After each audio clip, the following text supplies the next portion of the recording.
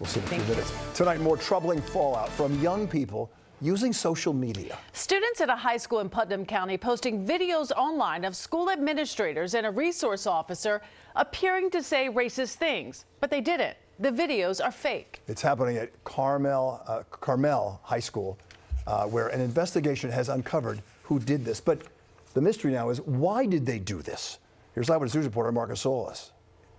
Okay, hello everyone. Welcome back to George Fischer Middle School. I just wanted to say that some kids have been getting in a lot of trouble lately by doing bad things. That statement is actually 100% true, and the only audio we can air, because what follows are a series of vile, racist statements. The Carmel School District has disciplined at least two high school students who created and posted several similar clips to social media. I just started seeing it yesterday on TikTok about these kids freshman year they're posting Fortnite clips and putting administrators on it and then putting a voice over them and making them say stupid things inappropriate things. In this clip, the visual showing a middle school principal in the district making morning announcements is real, but the audio is dubbed. The superintendent says artificial intelligence was used to imitate various administrators and the school resource officer from the Putnam County Sheriff's Office.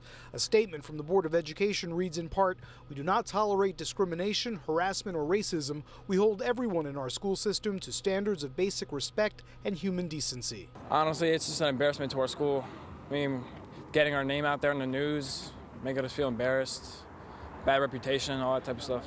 While some students acknowledge racial tensions in the school, the board says it's committed to diversity, equity, and inclusion programs. And Wayne Ryder is a club advisor who attended Carmel High School, as did his kids. You know, I've seen these kids firsthand for 20 years, and that's that's just not the kind of school Carmel High School is uh, we're lucky to have this. It's a high-performing high school. We send kids off to very good schools. While many students say they believe the videos were a poor attempt at humor, the district says its creators have been dealt with according to its code of conduct, meaning suspensions, over what it says is no laughing matter.